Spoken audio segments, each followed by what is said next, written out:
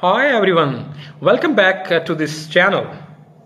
How many times you have been in a situation where simple conversation leads to a disaster situation?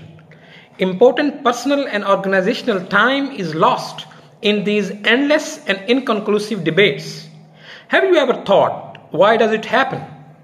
When leaders become barriers, organizations become victims. In this video, I'm going to talk about the issues related to fixed mindset and how can we overcome them. Fixed mindset is a background music and is very common in our relationship at modern workplaces. We want others to tell us what we want to hear rather than what we should hear. We are generally in an either or situation with no room for others' viewpoints.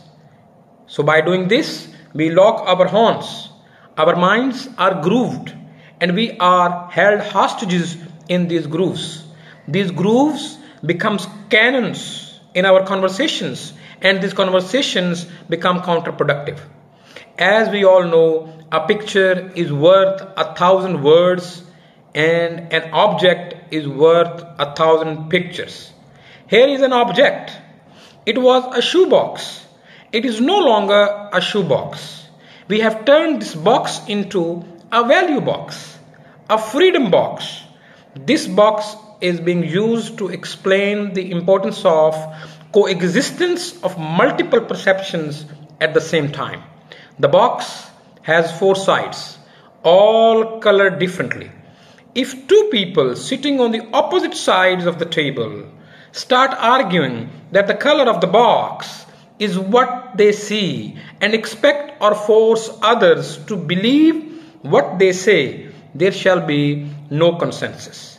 This judgmental thinking shall only create scars and deepens the already existing grooves. This is connected to how our brains are wired and have evolved. When we feel threatened, our amygdalas become active. The executive functioning of the brain is shut down, and the body defenses, both physical and psychological, they become highly alert. We lose sight of the situation. We start discussing people instead of the subject matter. So the question is is there a way out? Or can we get out of it? Can we ungroove our minds? The answer is simple yes, this is possible. We can do it. What we should do it, we have to stop making judgments and start making movements. Instead of staying on the opposite sides of the table and opinionizing about each other, we should take a few steps and see the same color what others see. We see what others see. What hepatitis is to liver, opinionitis is to mind. We can change our vocabulary a bit. Opinions become trenches in conversations. We, we may use softer words such as viewpoints. Opinions do not change easily. Viewpoints can change when we change our positions.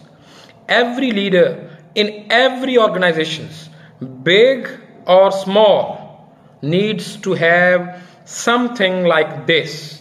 This shoe box, now a value box or freedom box, or something like this on their table.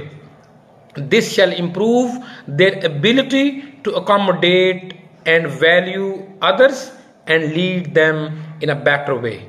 Stay tuned for more stuff on business, entrepreneurship, personal and organizational empowerment. Thank you.